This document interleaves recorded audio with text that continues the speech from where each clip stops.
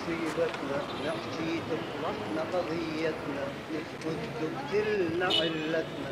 بس وين نولي وجهتنا؟ دلينا يا دكتور.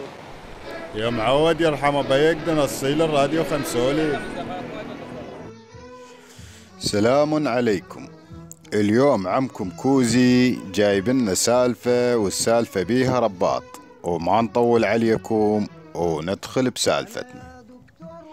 17 ستة 1975 فترة الزمن الجميل اللي طلقوه عليه شيابنا إجا الطارش من بغداد وبيده مرسال ويسأل على بيت عناد.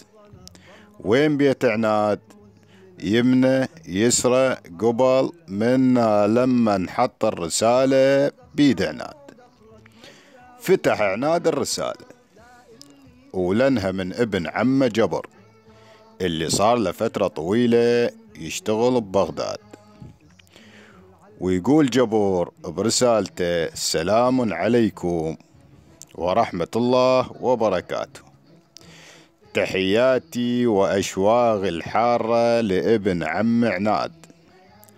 أما بعد بغداد عامرة بأهلها والشغل خير من الله. أخيك صار رجل أعمال وصاحب قهوة بشارع الرشيد. والمثقفين والمثقفات عمت عيني يحولون يمي ويشربون شاي وحامض. ومسؤولياتي صارت هواي. ومحتاجك يا حزام ظهري تجي تكض جزء من مسؤولياتي. والسلام أمانة الحجية نوعة والحاج زاير وأولاده. العنوان بغداد شارع الرشيد. تحياتي مع الويد جبار أفندي. طبق عناد الرسالة وجهز متاعه وصر البوكجة وحطها على ظهره. وطلع الشارع السبويس بانتظار حافلة الفورد دق النجف. وصعد عناد الحافلة متوجه لبغداد وبعد يومين نزل عناد بالنهضة. وقبل لا ينزل نزع نعاله وخلاه تحت أبطة. وراح يسأل على قهوة جبار أفندي بشارع الرشيد. ويمنى يسرع عناد تقدم عناد ولنها لافتة مكتوب عليها قهوة جبار أفندي وتلقاه جبار. شلونك الصحة؟ العويفة السلف فلان علان قال لك كلها بخير ونعمة فضيلة. لهناك صفن جبار على رجلين عناد.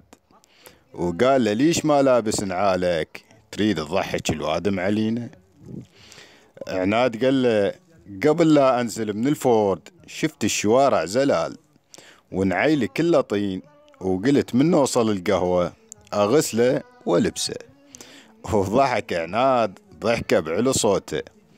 ربات سالفتنا إذا عناد وصل اليوم لبغداد وشاف شوارعها يلبس نعاله المطين ويمشي بيه لو ينزعه ويخليه تحت أبطه.